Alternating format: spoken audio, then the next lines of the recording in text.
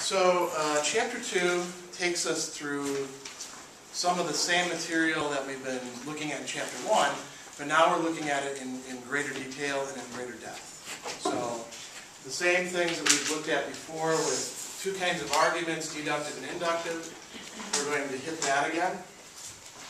Uh, what we're going to look at today are two main things about arguments that complicate them a bit.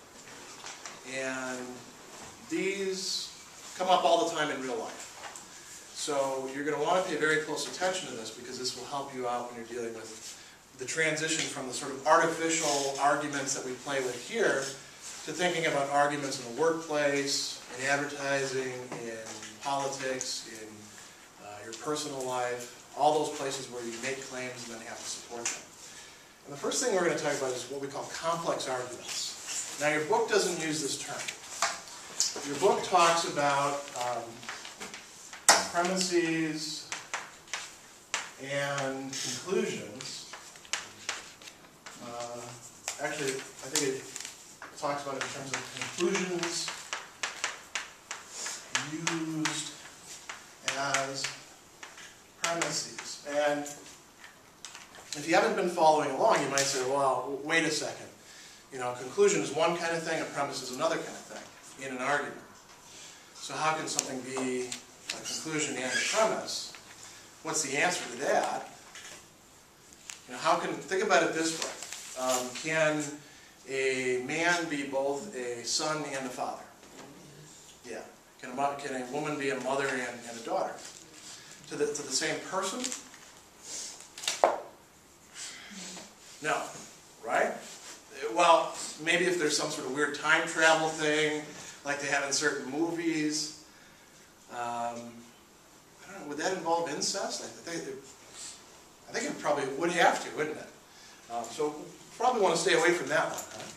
Huh? Um, if I'm somebody's son, I'm somebody's son in relation to their being my parent. Parent is a relational term. Son is a relational term. If I am somebody's father, am, that's also a relational term. And, you know, we, we also have ways of signifying the, the relationships between the two parts. So, my mother, um, her relationship to my son is, she's grandmother, right? And every culture has these sorts of things. These are what we call relational terms. There's other relational terms too, like um, um, boss-employee, right? Uh, how many of you have bosses? How many of you are the boss? Any of you? Just, just a few. Um, I'm not. Or am I? I? I'm a boss of a few things. But in general, we all have bosses, right? Do those bosses have bosses? Yeah. So it's the same sort of thing, relational terms with um, arguments, the components of arguments, premises, and conclusions. So think about it like this. You have a argument with some premises, and those premises lead to a conclusion. So here is one argument. Now, is it possible for that conclusion to be a premise in another argument? Yeah, we do this all the time, actually. So that conclusion might be one premise, and there might be another premise, and then this leads to another conclusion. And some arguments may go on like this quite a ways. They, they can have complicated chains. Um, think about when you're drawing inferences about um, somebody's character. Let's pick something that somebody does that makes you a little bit suspicious of them. Anything you like. What puts you on your guard? What's that? Say cheating. Cheating. Okay. Um, let's put that one. Let's put that one towards the end because that's pretty big. Let's say we want really small things. So, what might clue you into the fact that somebody might be a cheater? What opens up that possibility? Okay, so they start lying about small things, things that really aren't that important, that they don't gain anything uh, in lying about. So let's say the argument establishes that, um, we'll call him Jim.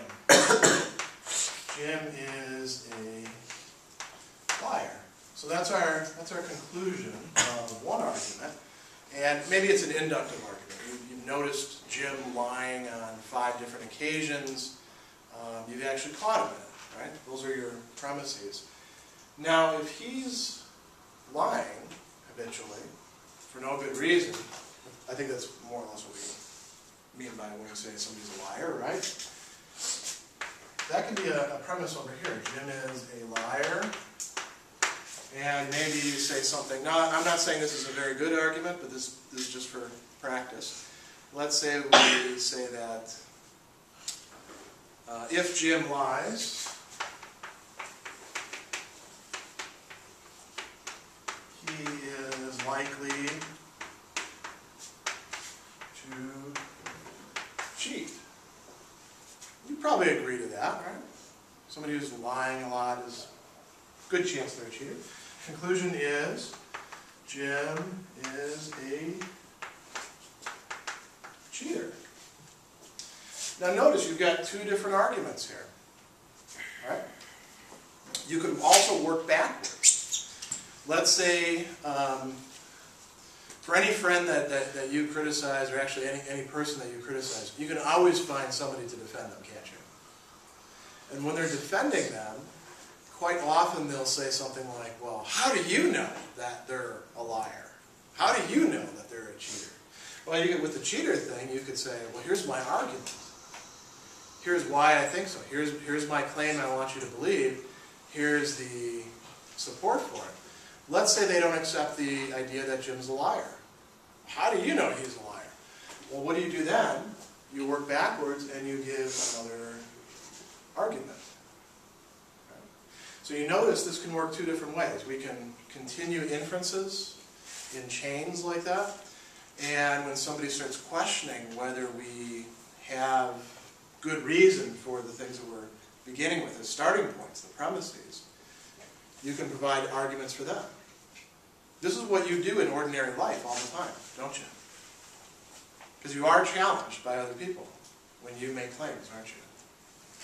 Or are any of you treated as if you're an oracle who's, who's never wrong and, and everybody says, oh, so-and-so said it, must be true. Any of you have that, that condition? It'd be kind of enviable, wouldn't it? But um, maybe some of you will, you know. Maybe some of you will attain the status of an Oprah someday. You know, where people will say, Oprah says, therefore it must be right. Um, although you can still find people to, to criticize that too, can't you? Pretty much anything that you claim, somebody else, maybe just out of stubbornness, can take exception to it. And then what are you going to do? Well, you want to trace your way back. You want to be able to give further reasons. Why do you believe this? Um, well, here's my reasons. So you can go backwards and you can go forwards with it. You can also have arguments where um, the structure gets even more complex. Say we get rid of this liar business. Um, you might have another argument.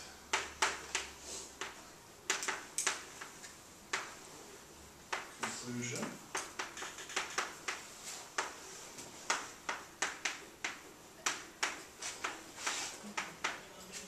Might have another argument where both of the conclusions in the earlier bits of the argument are functioning as premises. When you write a research paper, this is the way your research papers work. If you're writing them well, right? If you don't get it back with red ink, where the uh, professor, or you might have had this happen in, in high school, where your teacher says, what is your evidence for this? What's your support for this? Why are you saying this? What they're asking you to do is to actually back up the claims that you're making, because premises are, are claims, just like a conclusion is a claim. So that premise might be a conclusion in another argument. if you look at, um, if you look at famous arguments that are made in history, like um, one that I've, I've done quite a bit of work with is Martin Luther King's letter from the Birmingham jail. Um, that's a complex argument. See, here's the, here's the thing. You can, you can use the word argument in several senses.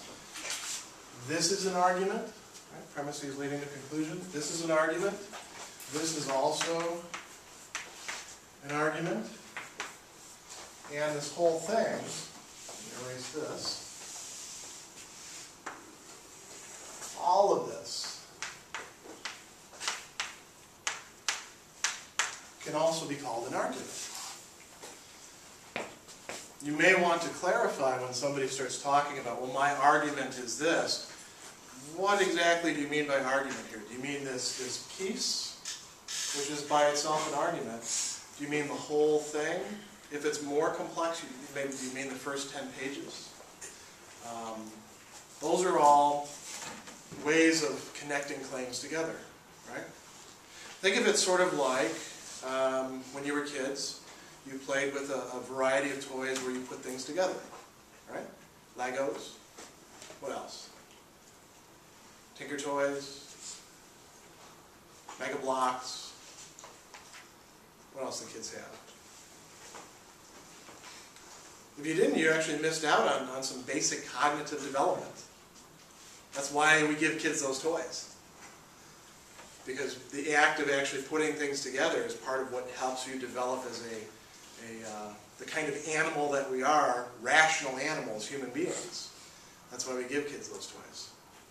Part of, part of your development relies on you actually doing things with your hands and seeing connections. So if you didn't get that sort of stuff, that's unfortunate. Um, if you have kids and you're not doing that with them, that's unfortunate too. Because that's just like this. You know, this is sort of like putting together a couple blocks. And then those blocks can connect with other blocks. This is what we do in speech. This is what we do with, with uh, thought.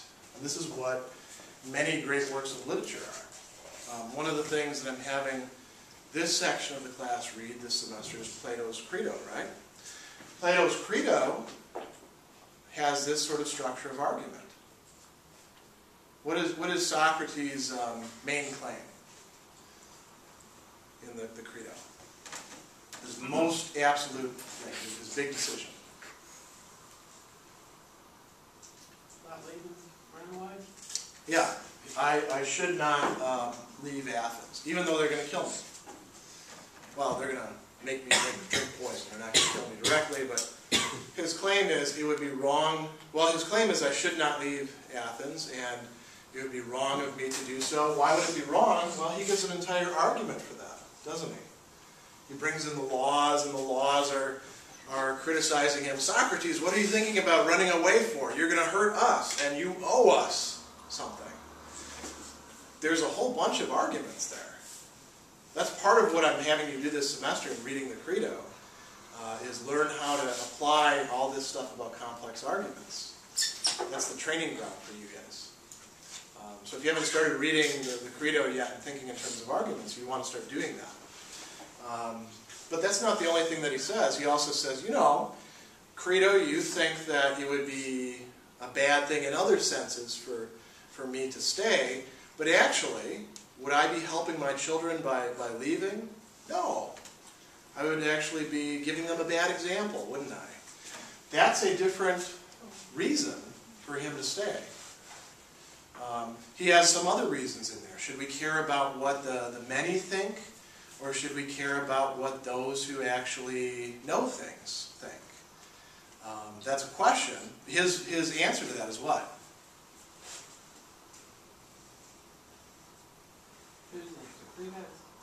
Play, uh, uh, Socrates. We don't know. We, we do know where Plato sits because if Socrates is saying it, that's that's Plato basically. But Plato doesn't show his hand directly. He puts it in Socrates' mouth. What does Socrates think? Should we care about what the many think? Really? No. Crito says, yeah, we have to care about what the many think. Socrates says, I thought we agreed that we don't have to. The many don't know what they're talking about. Um, that, that is the case too, quite often. That's the whole reason he's staying, for everybody else. Uh, that's not the whole reason. That's a good question. If we have a, a complex argument like this, the I should stay, that's a claim. There isn't a whole reason. There's a number of different reasons, right. And each one is supported by more argument. Um, ultimately, the main reason he's staying is because he thinks it's the right thing to do. But how does he get to that point? You see him unveiling this in his discussion with, with Crito. And Socrates already knows this. As a matter of fact, what's going on in the dialogue is he's leading Crito, who is in doubt about this. So, Crito's very upset, isn't he? He thinks that it's not the right thing for Socrates to say, to stay. And why does he um, come into the, the jail? He's bribed the guards. He's, he's not only um, upset about it, he's taken action. He's ready to get Socrates out of there to save his life. Um, but it's going to require him to betray his country, to go against, uh, The men. well, the many and the wise, because the, the laws are part of the country too, aren't they? And the many change their minds all the time. See, the many are not critical thinkers. The many just go wherever their opinion leads them, and, they go by feeling, or you know, somebody sways them. We're going to look at a fallacy later on in the semester called the argument from popularity, or the appeal to popularity. Just because many people think something is true doesn't make it true at all. Um, what you want to do is look at what do the people who actually know about, um, what do they think about it? Actually, another way of thinking about this, what's your job here in college? What are you supposed to become? Right now, many of you are the many. If you don't have the answers to the questions that I'm asking in class, you are the many. Uh, they're not ready at, at hand.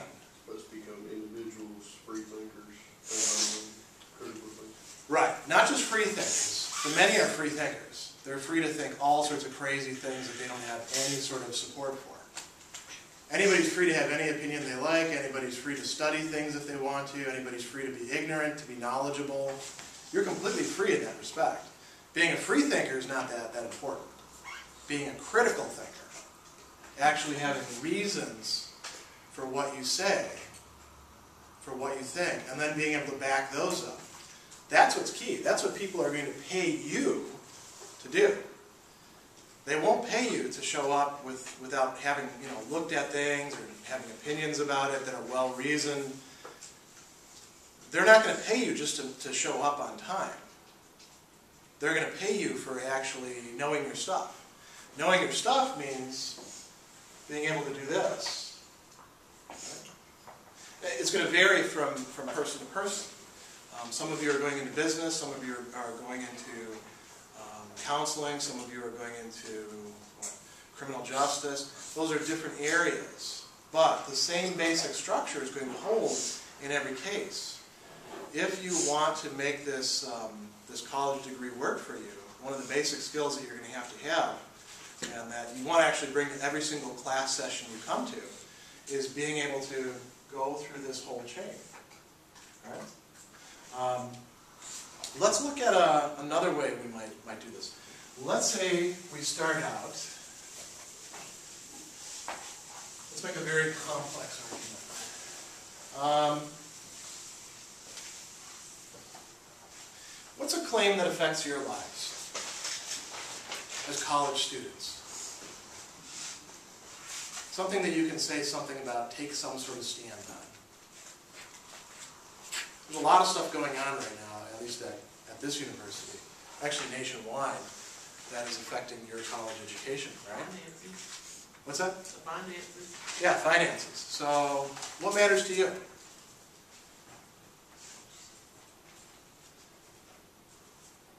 As far as finances go, Yeah, in college.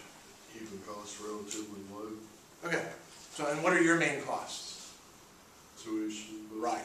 It's not. It's not so much the books. Tuition costs you more, right? Not the books anymore, What's that? not the books anymore. Yeah, because you have the, the rental program. Although it doesn't cover everything, but uh, it's it's pretty good for you. Um, Imagine how much you'd have to pay if you didn't have that rental program. Well, when I was going to tech first two years, Uh-huh. tuition was about seven hundred dollars per semester, about twelve credit hours. for Books fourteen. were like. Yeah. And books were anywhere from five to nine hundred dollars, Wow. So you paid more in books sometimes than you did in tuition. just about every time. Yeah. The community colleges have very affordable tuition. Um, The higher you go up in, in um, rigor, the more expensive it gets. FSU is actually pretty cheap. Um, And the UNC system is actually pretty cheap in comparison to other places. But it- it's still expensive, and what have they done recently with your tuition? Yeah, actually, I think the last two years, haven't they? They've, they've raised your tuition? Those of you who look with sort of blank expressions, um, you're gonna pay for this eventually. If you have a loan, um, and they keep raising tuition, you're gonna pay for it. Some of you have grants, but that's not gonna cover your entire college career, I think. And they just added that insurance. Yeah, your, your student health insurance? Seven fifty a year. Yeah, and then you have various student fees too, right? They tack on other things. And There's a lot of hidden fees too, aren't there? Like, uh, how much do you guys get for, for your print account? Like, Forty bucks, right? no, it's Oh. more than that. For a whole year, it's like Oh, for a whole year, yeah. You get like forty, forty dollars a semester, I believe. ninety dollars or something like that. Yeah. There ain't no way you can use all that. Well, I know students who go through it like that. If you're actually downloading research papers and printing them out, which all of you should actually be doing at one point or another, um, that gets burned up very quickly. If you're printing out all the things that your instructor expects you to print out, it can go pretty quick. Uh, Especially if you're doing multiple drafts of papers and things like that. So, money is tight for students. So this is a concern. This is something, now we have a topic, now we can come up with an issue um, whether your tuition should be raised. I mean, this is a live issue. The UNC system is, is out of money, the state of North Carolina is out of money. We're facing 15% budget cuts likely this year. Um, We've cut staff for the last two years, we've frozen a lot of accounts. Um, Travel is, is, you know, right now at 75% payment. Pretty soon it's gonna be 0% payment for faculty travel. Um, All these things are, are signs of the, the situation that we're in. So it's likely that they're gonna raise tuition. Um, If you students actually wanted to do something about it, now would be the time to start making your argument to, who would you make it to? You wouldn't make it to us professors. We might help you structure it. But we don't have any say in it, do we? Who sets your tuition? State North Carolina. Nope. Chancellor would be the first person that you'd want to send a letter to. He has a lot of power over the, the institution. Um, State of North Carolina by itself doesn't set the tuition. Each institution gets to decide what it's going to do. Um, so let's say you wanted to write a letter as students to the chancellor, and let, let's figure out what your basic claim is. It's something about tuition. You're, not happy about it. Is that all you'd want to say? We're not happy. We, we can use that later on in something. Is that the ultimate claim you want to make? What's the ultimate claim? What's the main point you want to get across to them?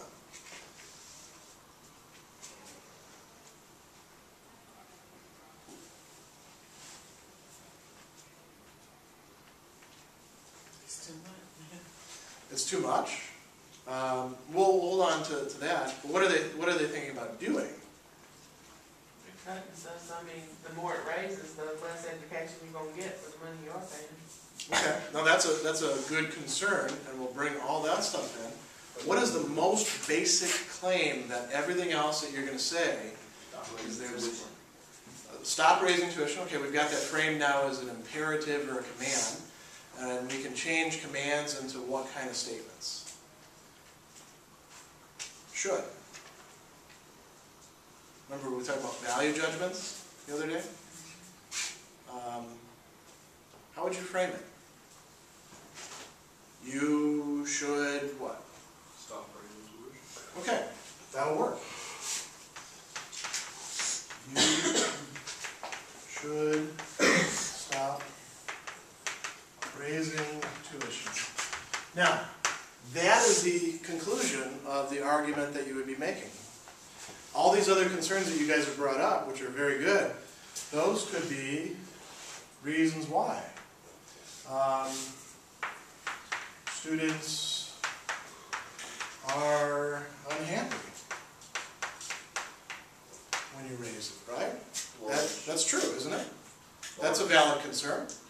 What else did you guys have? Um, the more that, uh, maybe it, it would be wrong to raise the price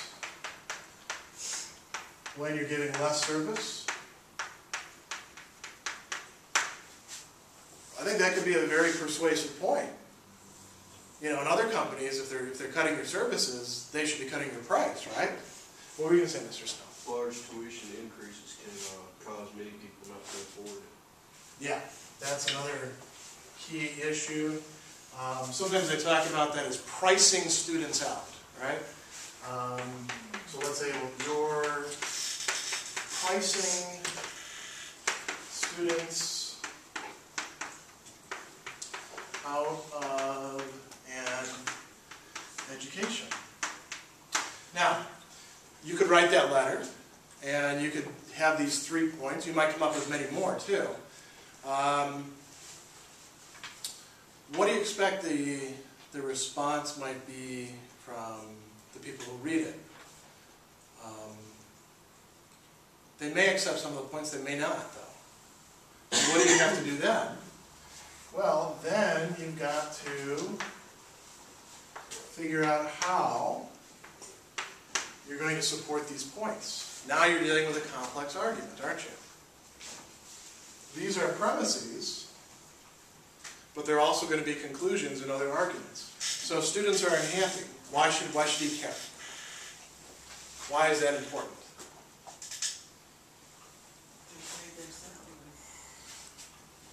Okay. Students are the clients paying your salary. And we might have to bring in some other um, premises as well. And uh, this is where we're going to get to uh, unstated or implicit premises. We'll use this. Um, so, okay, somebody says, well, what do I care if the students are unhappy? You say, look, buddy, I pay your salary. My tuition goes to that. Not exactly true, unfortunately, because uh, your tuition only pays a little sliver of it. Actually, state, state funds pay for most of it. But, okay, you have some sort of grounds to stand. It's wrong to raise the price um, when you're giving less services. Um, you can make a case for that, right? Let's say somebody says, well, why shouldn't I raise the price when you when, giving less services? I mean, everything's costing me more. If you have a company um, and it, it, it's uh, raw materials are costing it more, it just passes it on to you. Think about the gas stations, right? All of you buy gas at one time or another. And prices go up and go down. And if you go into the gas station and complain, what do they tell you? Well, it's oil is costing us more, so we have to pass on the, the Sometimes they pass the savings on to you. Usually they're passing the costs on to you, right?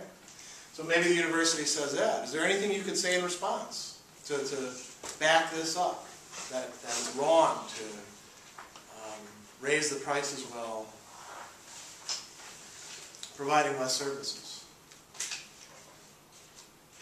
I'll let you think about that one. That one's kind of complicated. Um, but let's say we could come up with something. Then we'd have another argument. Okay? Um, you're pricing students out of an education. Let's say somebody doubts that. What would you do?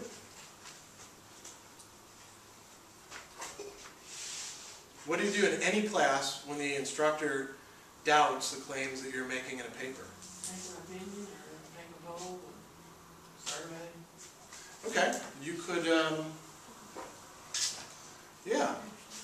So you could do some sort of research. And the kind of research that you're doing might be polling, okay. Um, Maybe you poll FSU students here, you say, if they raise it this amount, will you continue to go to SSU? Yeah, that could be good support, and this, again, would be another argument. So you have a very large, complex argument. Notice you started with just one thing. Actually, you know, what you did is you started with one main claim and a bunch of different ideas just sort of bouncing around. And what did we do? We imposed some structure on them.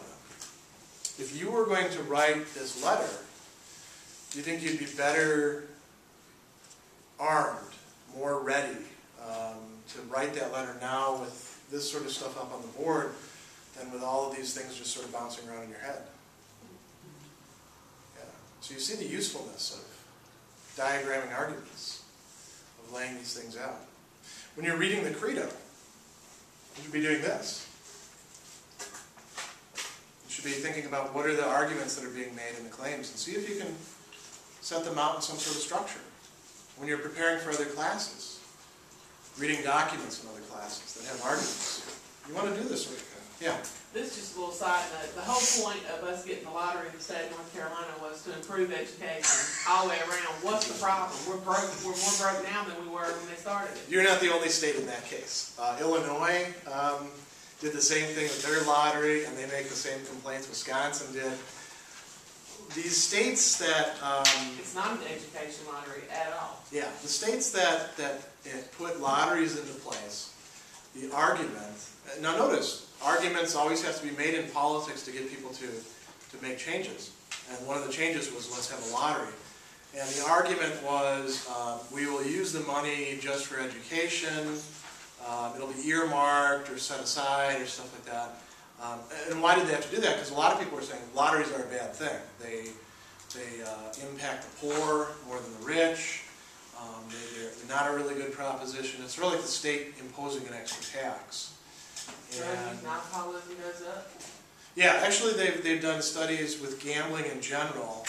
When, for instance, when a casino comes in, a lot of times people will make the argument, it's going to be great for us because jobs, you know, it's going to improve a depressed area. And yeah, some jobs go up, but not an awful lot. And rates of alcoholism, divorce, uh, bankruptcy, all those things uh, go up as well.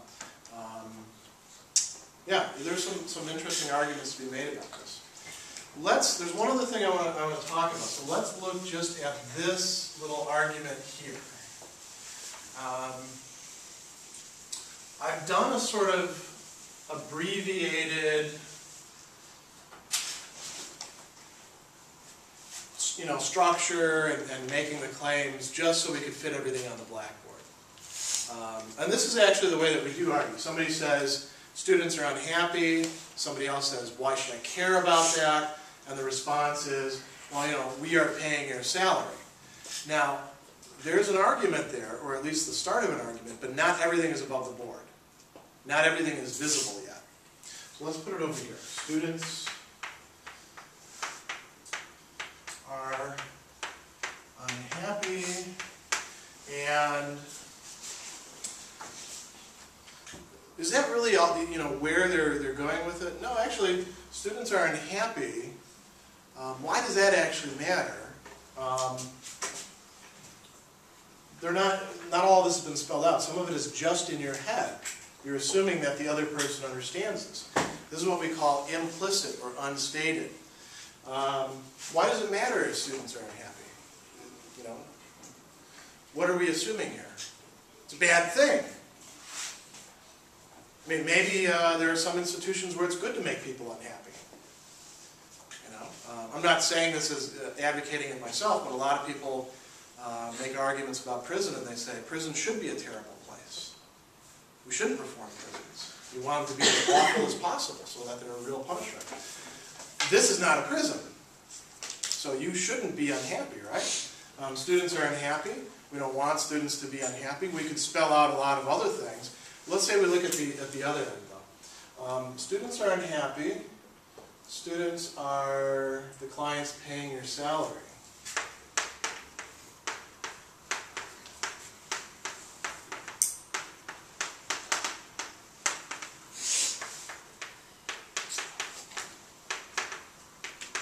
Now, if all we have, if The only thing that's up for consideration are these two claims. This claim is not really connected to this yet.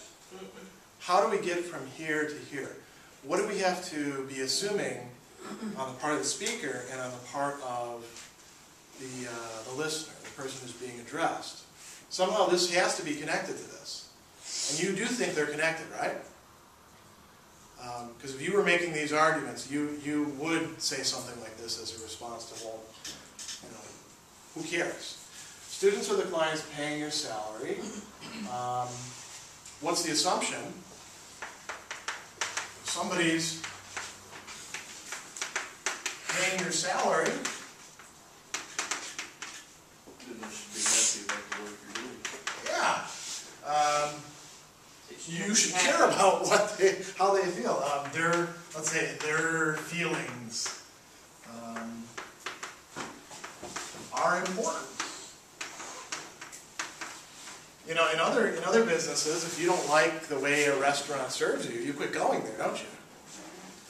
Uh, education is a little bit different. Sometimes people think it's okay to screw students around because ah, they're they're always going to be there. You know. Um, Students are the clients paying your salary. If somebody's paying your salary, their feelings are important. Um, students are unhappy, you know. Um, what's being actually implied by this? It's your job to um, make them happy.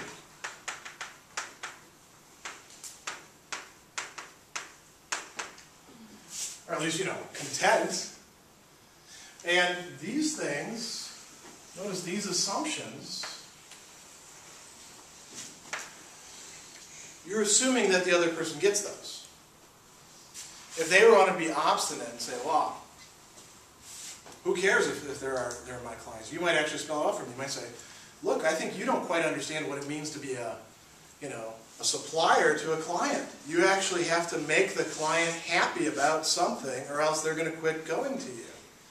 You should care about that. Um, if they say, well, okay, so the students are unhappy, why does that matter? You, you can say, it's your job to make them happy. This is something implicit, right? Um, and if we think about this now, what we can actually see is that these two things kind of go together, don't they? You add them to this, this is really the conclusion, isn't it? This is the conclusion that you could draw. Students are unhappy, it's your job to do something about that. Um, students are unhappy is actually a premise, not a conclusion, if you frame it this way. Notice, premises, conclusions, something can be both a premise and be a conclusion at the same time. Um, something can switch its role, depending on how you frame the argument. And as you think through arguments, you will find these things changing. That's okay. Uh, don't, don't feel like you're not getting it if you find that, that something is changing from a premise to a conclusion. That probably means you're actually getting it. You're, you're doing your job. Premises and conclusions, relational terms. A premise is a premise if it's supporting something. A conclusion is a conclusion if it's what is being supported. Just like a, you know, a father is a father if they have, you know, begotten some children. A child is the child of somebody who has, you know, So students are the clients paying your salaries now the conclusion, uh, the one on the no. top. That, that's one of the premises. But it- Generally, when we're, when- generally when- when we're sketching these things, uh, the convention is premises on top, conclusion at the bottom. This is the real conclusion. It's your job to care about what, you know, your clients think. I thought you just said that was now the print, all students are unhappy. No, I said that, that, that this, students are unhappy, if we think about it, is really functioning as a premise, not, not as a conclusion. Um, Yeah. Now, when you argue, when you make real-life arguments, you're assuming things on the part of your listeners all the time. If I say, um, well, let's use the old example that we use all the time. Uh, it, it's snowing today, uh, therefore class is canceled. I've left some stuff out. What have I left out? What's the assumption? Now, if I say it's snowing, um, class is canceled. Class is here. I've already said So class is there's no canceled. because snowing, Yeah, or something more like, if it snows, then, there's no right. And we assume these sort of if-thens all the time. We'll say one thing, and then we immediately say another thing, and we don't spell out the if-then. Why? Because we assume that the audience knows that. And if they look at us with a blank face, um, you know, like for instance, my first snowfall down here, I showed up. Because, you know, I'm from Wisconsin.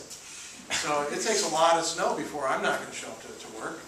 As a matter of fact, in Wisconsin, if there's, you know, like four inches of snow and you don't show up to work, you're written up. But here, you know, I didn't, I didn't realize that one of the bits of background knowledge is, if it snows, the whole place shuts down. And, and we can explain why. Why is that the case? Somebody might say, yeah, that doesn't sound right.